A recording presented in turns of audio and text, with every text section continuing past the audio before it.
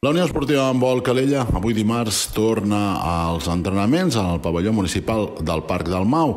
El passat dimecres ho feia la gent del Club Bàsquet Calella. Ahir dilluns ho varen fer la gent del Club Tenis Taula Calella que van tornar a entrenar-se a la seva sala de joc.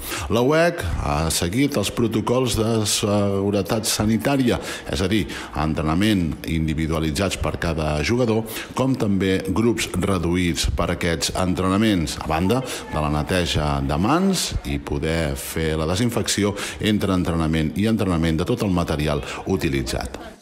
Hem fet grups reduïts de 10-12 nanos, complint les normatives. A cada nano, quan entra, se li pren la mesura eh, corporal amb un termòmetre digital que tenim, rentem les mans amb el gel hidroalcohòlic, i, bueno, i fent torns d'hora en hora. Home, ha tingut que variar perquè, per exemple, no podem fer partits.